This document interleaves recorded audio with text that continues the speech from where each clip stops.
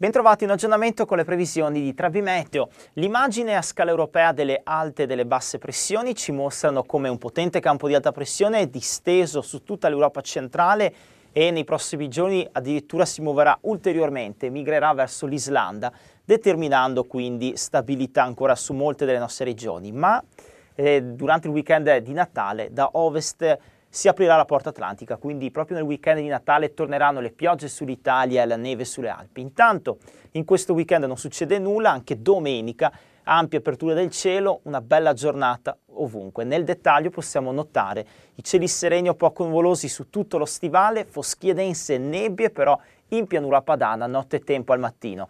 Dettagli maggiori li trovate scaricando l'app gratuita di Trebi Meteo.